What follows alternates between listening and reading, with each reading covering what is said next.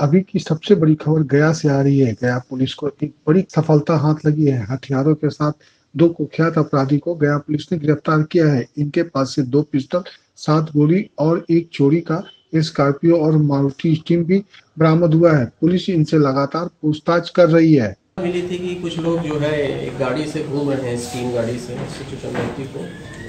उसके बाद जो है सूचना के आलोक में D P O law and और चंदौती एस और जो टेक्निकल सेल है, उनकी टीम द्वारा जो है छापेमारी की गई और छापेमारी के क्रम में दो अपराध कर्मियों को गिरफ़्तार किया गया है जिसमें से एक प्रिंस कुमार उप मोहम्मद सादाब, जिनके पास से नाइन पिस्टल और पाँच गोली मिली है। उसकी, उसके साथ ही एक और अन्य अपराधी उनके साथ जो है, संतोष कुमार हैं